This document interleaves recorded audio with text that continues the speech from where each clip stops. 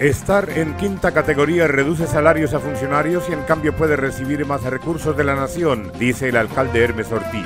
La directora del Instituto Municipal de Cultura y Turismo es una profesional de la contaduría y lleva más de 15 años en la docencia. Del 10 al 25 de enero en San Gil también habrá la exposición de Baricharte. Ciudadano insiste en su denuncia de falta de agua en su sector, carrera 19 con calle 11, Villa Olímpica. Ante los entes de competencia, el alcalde actual de Curití denunciará a la anterior administración por irregularidades. El plan de obras para el año 2020 del nuevo alcalde de Ocamonte ya está señalado, dice el exalcalde César Castillo.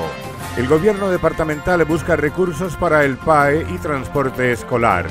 Balance crítico en accidentalidad se presentó en el municipio del Socorro según Balance 2019. Arte, cultura, historia y música fue la gran percepción que se llevaron los turistas de su visita al Socorro.